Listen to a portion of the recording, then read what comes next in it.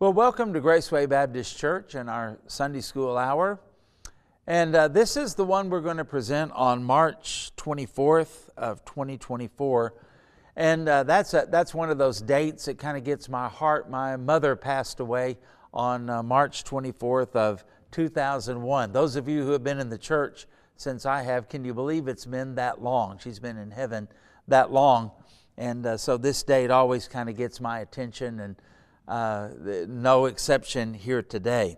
But as we look at our Sunday school lesson, we're going to talk about hospitality, fellowship, and hope. We're going to be looking at Genesis chapter 18, verses 1 through 10. Now, Abraham is getting closer and closer to the birth of Isaac, that, that preposterous, biologically impossible situation, all of the humiliation, all of the shame, all of the embarrassment he has had to bear from people who think this is just crazy and that Abraham's probably kind of gone around the bend, if you know what I mean, on that. Uh, he's finally lost it. Dementia has set in, uh, and yet the time is coming. I mean, he's going to be proved uh, right, and um, he's going to be proved faithful, and God is going to vindicate him. And more than anything else, God is going to show himself to be faithful in these impossible situations. So uh, the time is near. and after all of the affirmations, think about how many times God has appeared and promised, all the years of waiting, the Lord makes a birth announcement, and Isaac will be born within the year in spite of all of the obstacles because nothing is too hard for God. Boy, I wish we could understand that. And that is similar to what Gabriel said to Mary in Luke chapter 1, verse 37. Nothing's impossible with God. I wish we really believed that. We say that and we think that. I wish we really believed it and lived like it. And uh, Abraham's going to have a visit that is unexpected, unannounced, but it's one that they would never, ever forget. Okay? We find in our text here, then the Lord appeared to him by the terebinth trees of Mamre as he was sitting in the tent door in the heat of the day, just trying to remain cool in some way, probably in the shade. Verse 2 So he lifted up his eyes and looked, and behold, three men were standing by him. And when he saw them on this hot day, he ran, this old man ran from the tent door to meet them and bowed himself to the ground. Again, he's an old man doing that. That's pretty amazing. And he said, My Lord, if I have now found favor in your sight, do not pass on by your servant. Please let a little water be brought and wash your feet and rest yourselves under the tree. And I will bring a morsel of bread that you may refresh your hearts. After that, you may pass by, inasmuch as you have come to your servant.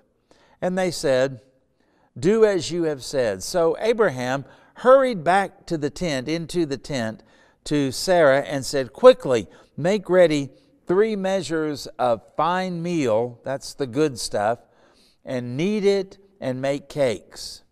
And Abraham ran to the herd, took a tender and good calf, and gave it to a young man, and he hastened to prepare it. So he took uh, butter and milk and the calf which he had uh, prepared and set it before men, these, these guests, and he stood by them under the tree as they ate. Now, he's not just watching them eat. I mean, obviously, he would be noticing whether they enjoyed it or not. Any good host would. But he's ready there to get anything that they need. He's ready there to serve them. He's ready there to converse with them and uh, uh, make sure that they are having a good time. He, he's a good host. So he stood by them under the trees as they ate. And then they said to him, Where is Sarah, your wife? no mention of how they knew her name or knew that she was even around. And he said, Here in the tent. And he said, I will certainly return to you according to the time of life, the gestation period, and behold, Sarah your wife shall have a son.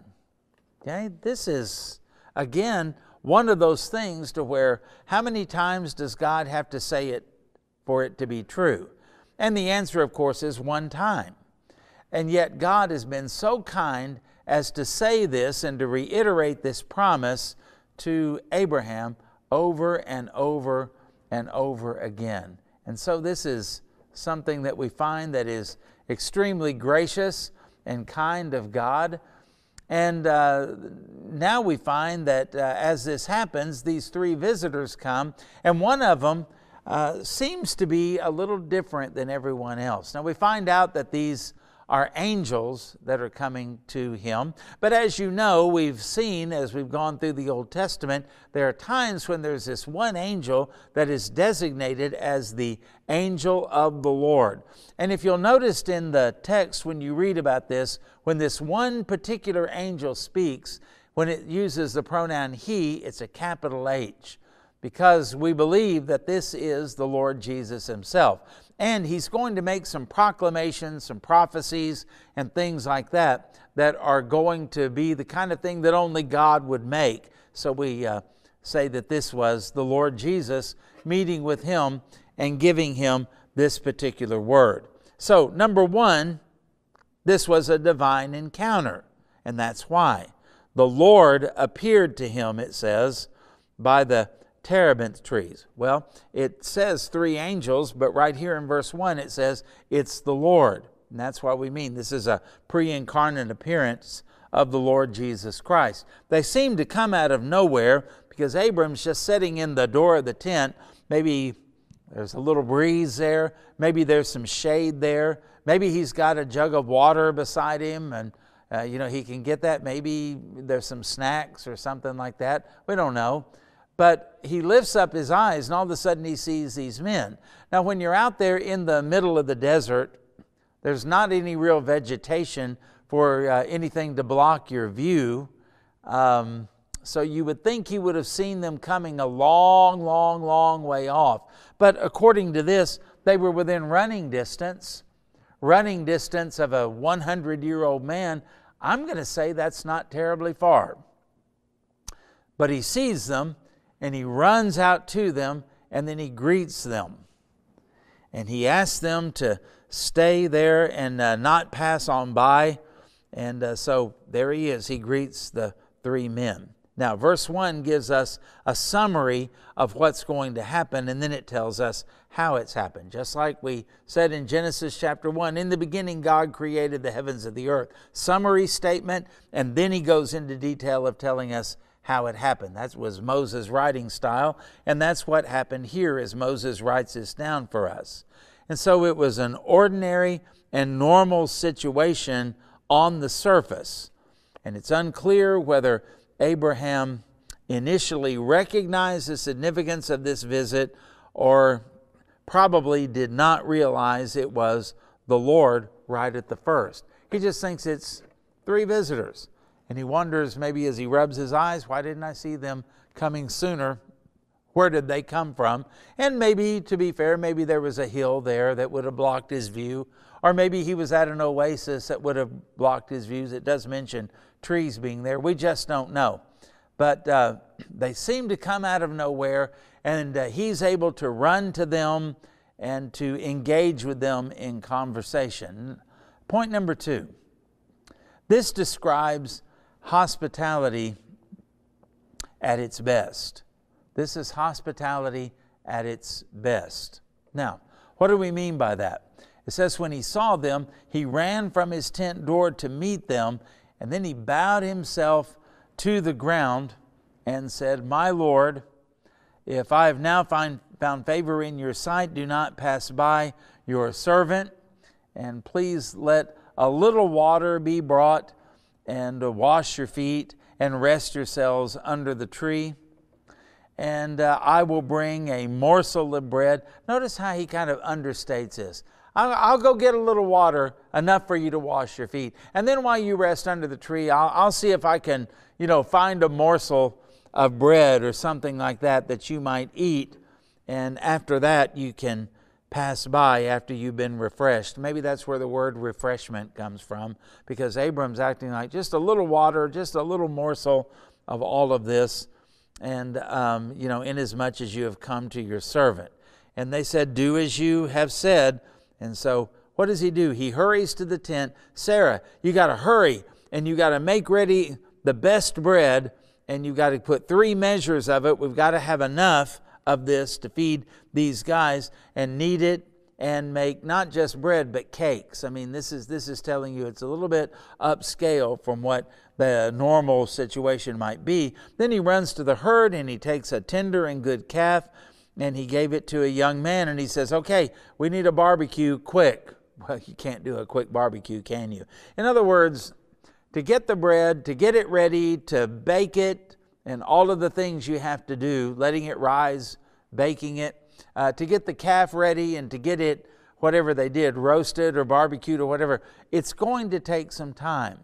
And so, Abraham, when he says, you know, let me get a little bit of water, well, he's doing a whole lot more than that, isn't he? Let me get just a morsel of food. Well, he's making a feast for these guys, and uh, he's going to host them, and they're going to share this all together. This is a big, big deal. Abraham's not giving them, hey, we got some leftovers we can throw in the microwave. It'll be good enough for you. We don't know you anyway. You're just passing by. He's giving them the very best that he has. Now, again, I don't know how aware he was of who these people are. Uh, maybe he was, maybe he wasn't. But nonetheless, he's giving the very best. Now, I want you to look at the bullet points. Abraham was enthusiastic. He ran to them and he bowed on the ground and begged them to stay. This was not a reluctant, oh, great, look who showed up right about mealtime or something like that. Or why didn't they wait till mealtime? I don't know what the situation was. But notice he is humbled and honored at their coming. They're not a pain in the neck, they're not a problem or anything like that. He honors them. That's what hospitality is. We're bringing you to our house under our roof to eat our food, and we are honored to do this. That's the way it ought to be. And he understated what he would provide. You know, they tell you that uh, what you really ought to do in business is um, under promise and over perform. Under promise and over perform. Because it's terrible when people promise something that they can't give, right? Well, Abraham didn't do that. Abraham told them, I'm going to bring a little water, you know, enough to wash your feet. And I'm going to bring a morsel of food so that you can, you know, just have a snack, refresh yourself, and then you can pass on your way. Well, he really outdid himself. And so, of course, did uh, Sarah. So here he is being thoughtful, and he served them the best, not the easiest. Now, underline that best, not easiest. We live in a culture where we don't want to be put out, we don't want it to cost much, we don't want it to take much time, and then we wonder why we are lonely. We wonder why we don't build good relationships. It takes effort to do this kind of thing, and um, he honored them by the way that he served them. They were not an imposition to him at all. Number three, sharing food is a sign of fellowship. And he stood by them under the tree.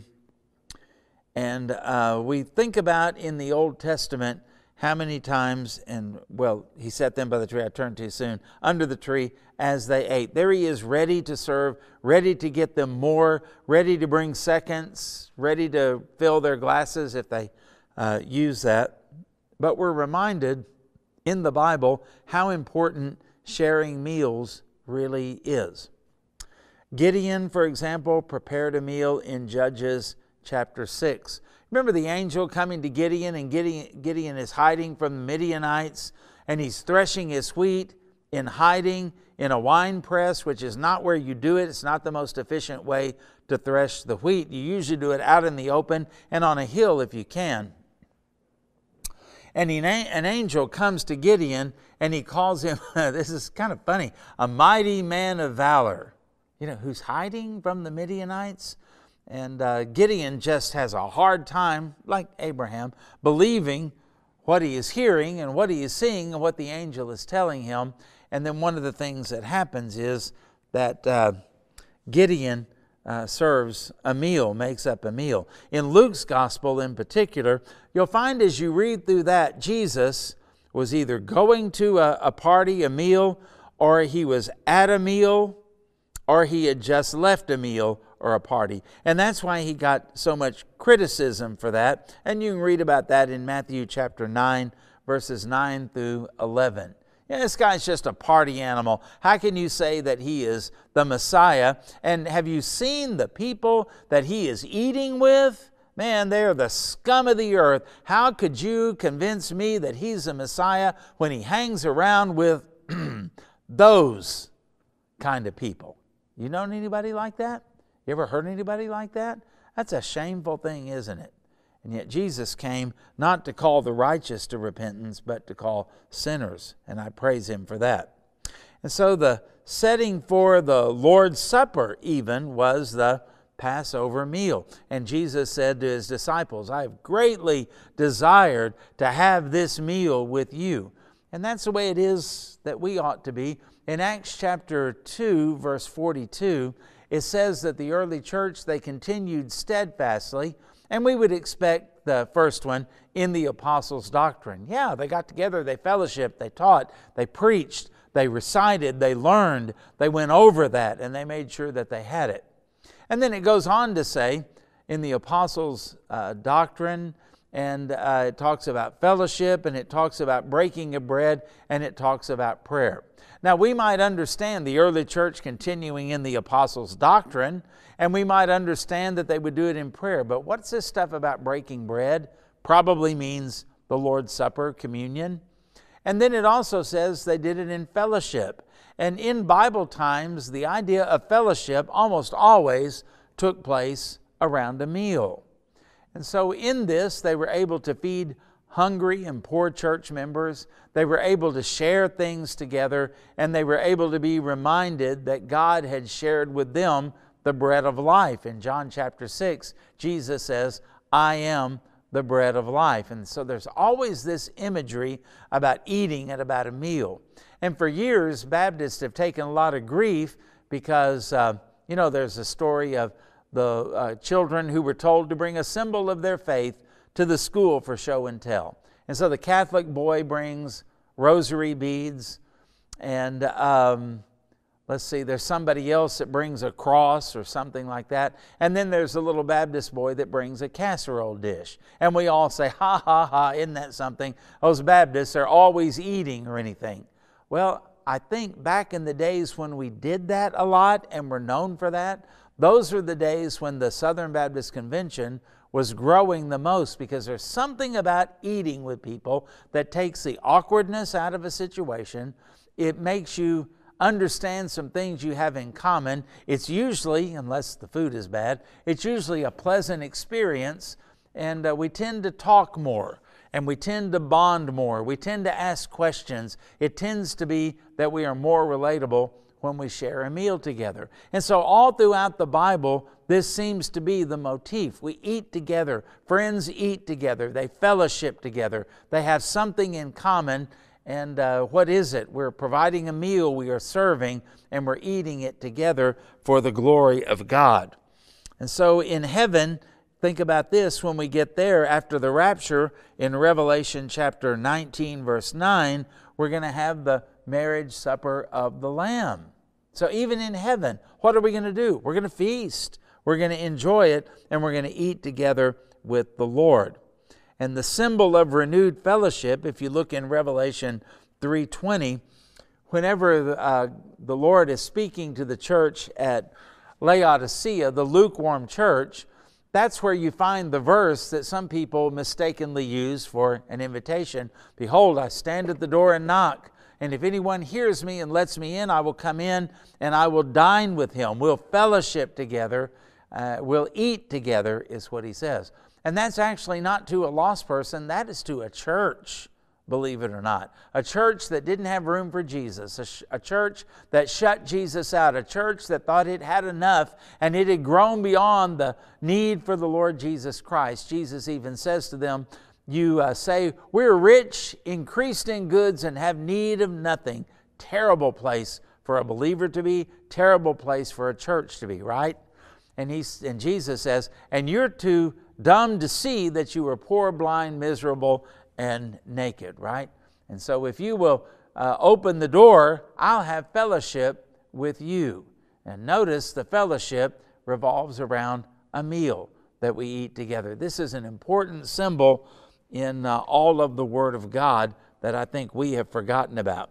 So the next time that the Lord would have a meal with Abraham's family would be at Sinai. And by that time, Abraham, Abraham is long gone, and his descendants are numerous, and they've been in Egypt for 400 years as slaves. Now Moses has led them out, and Abraham's family, the ex slaves, there at Sinai in Exodus 24, verses 9 through 11, God has a meal ordained for them. So don't discount the power of eating together. Don't discount the power of hospitality. You got some lost friends in your neighborhood that you want to try to build a relationship with and witness to?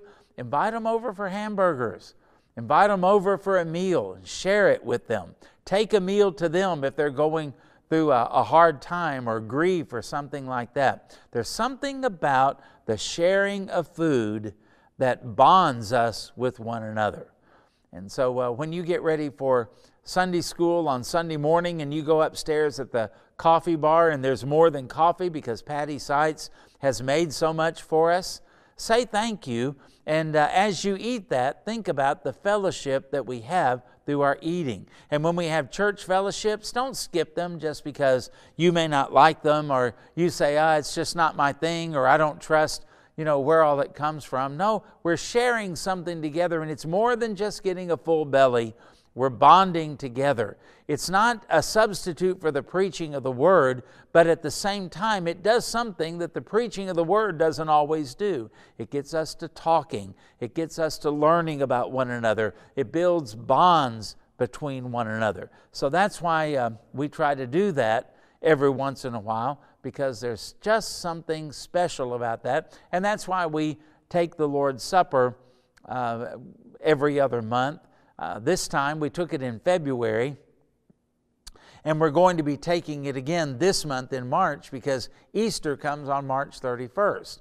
And so we will have our Good Friday uh, Passover Lord's Supper on the Friday before Easter. And even that, it's kind of a symbolic thing, but it's symbolic of a meal that Jesus had with his disciples, and it's symbolic of the covenant that we share with Christ. And it also reminds us that when we get to heaven, we are going to have one more good meal as we celebrate the marriage supper of the Lamb. So don't ever take those things for granted. And going out to eat with people after church, even if it's a visitor, Man, that's a wonderful thing to do. Meeting together with people from your Sunday school class, that's a wonderful thing to do because there's a social aspect to all of this that builds us up, encourages us, bonds us together, strengthens us, and it might even give you an opportunity to witness to someone who is lost. Never, ever take that for granted. Okay? That's an important theme of the Bible. And number four, notice here that it was a prophetic meal. You know, the Lord's Supper, I'm always impressed that the Apostle Paul said, As often as you eat this bread and drink this cup, you do proclaim the Lord's death. Okay, well, we get that. It's a memorial. We're looking back. But then Paul adds these three words until he comes. Until he comes. Now, Paul didn't actually say, You remember his death, burial, and resurrection. He didn't say that. He said, Remember his death.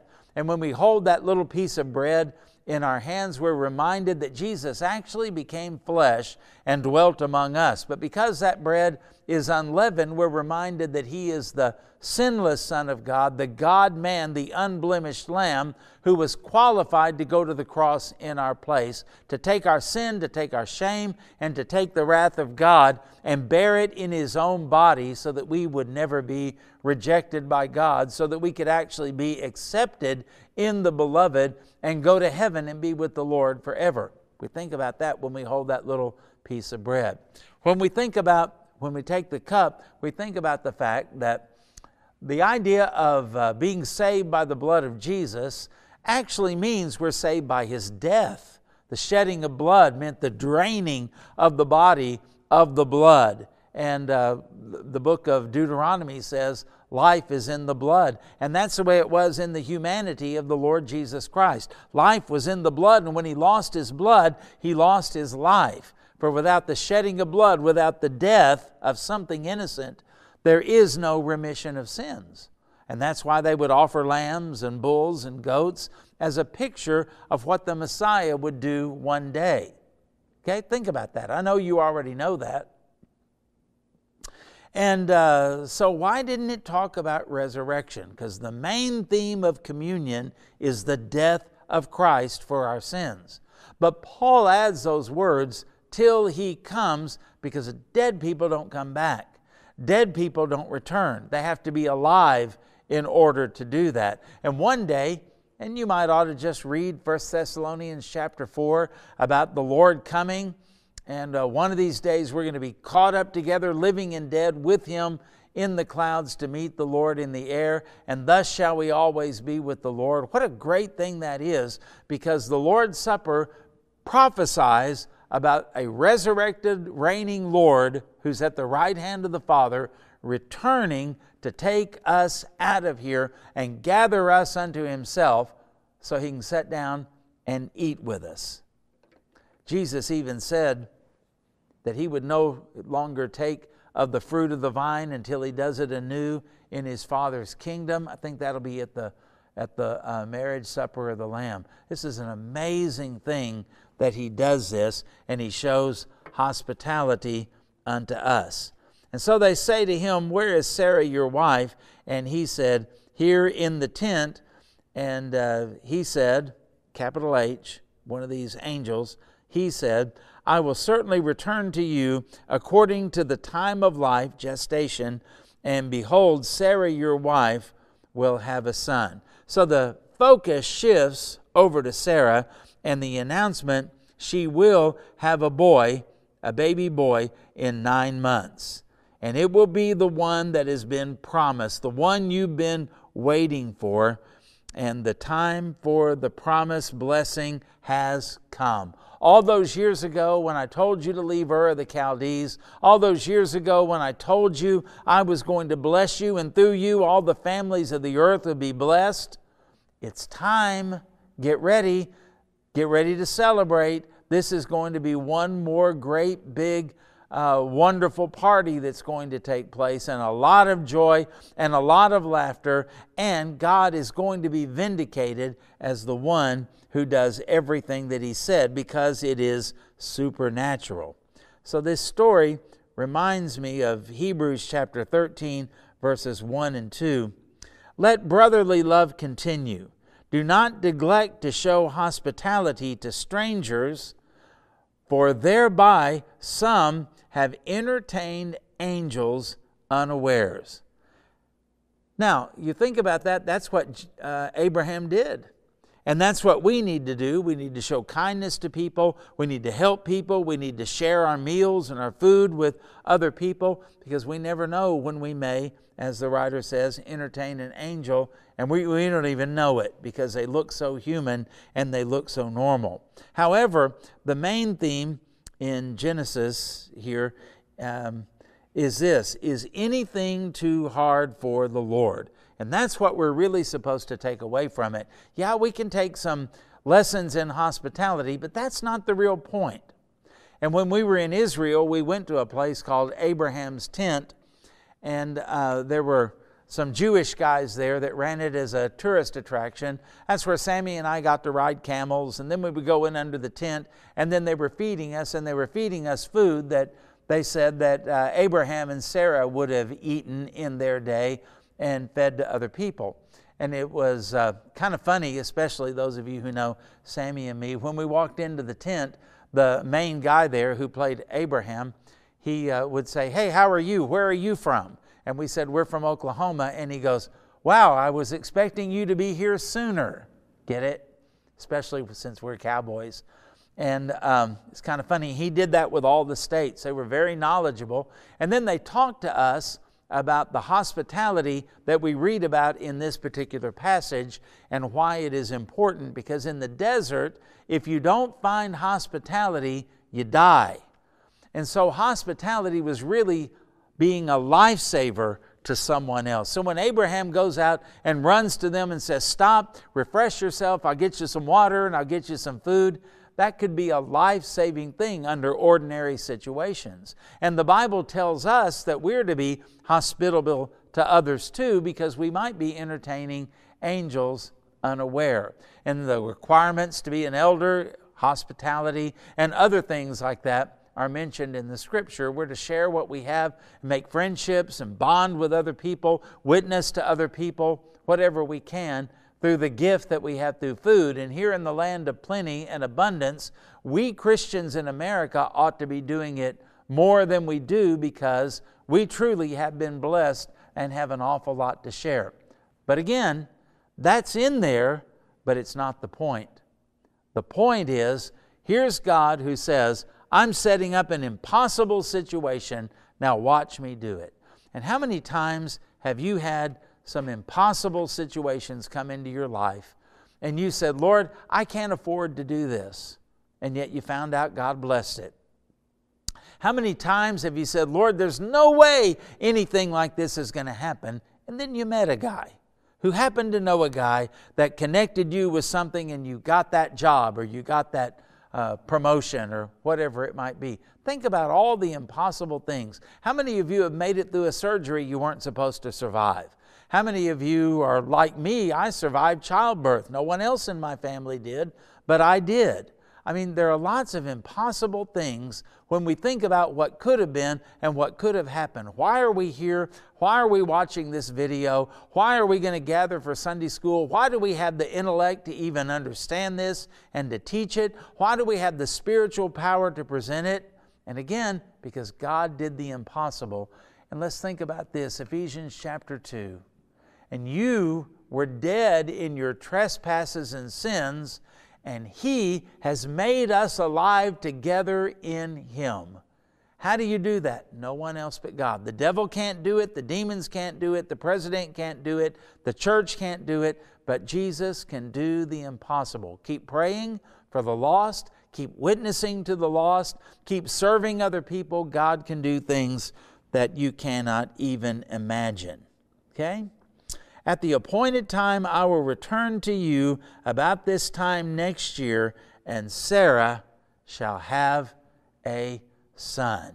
That's exciting to think about, and exciting to think about the fact that all of that is still in operation even now. God keeps His promises.